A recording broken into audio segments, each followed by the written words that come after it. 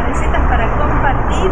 Es un libro que lo pensé eh, tratando de que la gente comparta las recetas, cocine para otros, sirva. Son nueve ocasiones muy diferentes. Cocinar para muchos, cocinar para pocos, recetas de la huerta, recetas para chicos, que más les preocupa. Eh, es más gordito, tiene muchas más recetas, tiene una parte fotográfica que a mí me encantó hacer, así que espero que les guste y lo de